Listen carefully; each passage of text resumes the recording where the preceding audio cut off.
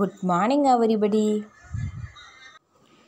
Okay, children, last class we saw the first stanza of the poem.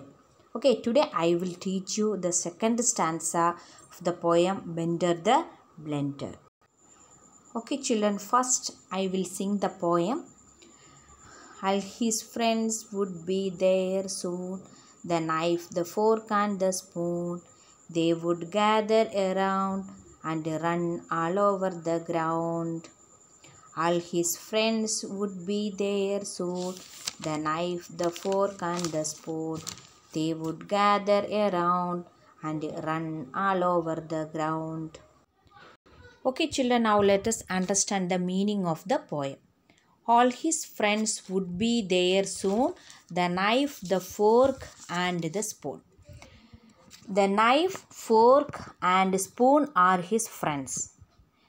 They will come to meet him fastly. Okay, children, have you seen uh, a fork, spoon, and a knife? Okay, no problem. I will show you.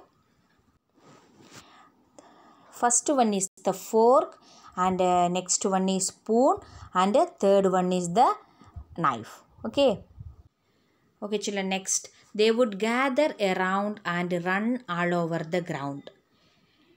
They would come together and they will run all over the ground. Here, ground is the kitchen, so they will run all around the kitchen. Okay, children, I will send the meanings, rhyming words, and a question answer from this stanza. Write it in your English classwork note. Okay, thank you.